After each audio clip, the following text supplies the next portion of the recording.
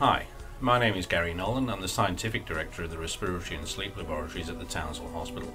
We have a regular request in our labs from the paediatric medical teams to assess the lung function of some of their patients.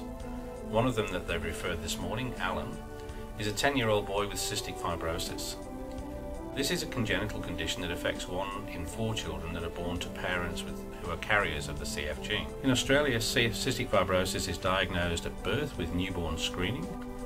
Commonly, the dysfunction that occurs is a biochemical pathway that results with an increased quantity of secretions from the pancreas and the bronchi. This progressively reduces the function of both the digestive system but also the lungs. The treatment for the digestive problems can now be very well managed. An increasing burdensome disease in Australia is COPD or chronic obstructive pulmonary disease.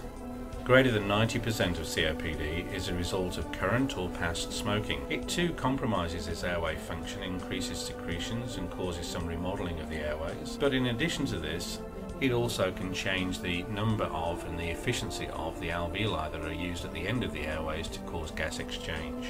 Both of these things will compromise quality of life. More complex studies are sometimes required to fully explain the degree of the breathlessness that the COPD patients experience.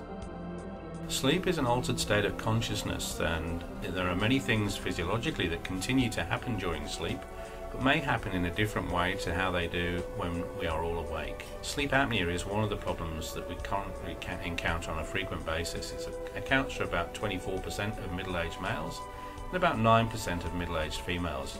This diagnosis of sleep apnea is achieved by making a sleep study.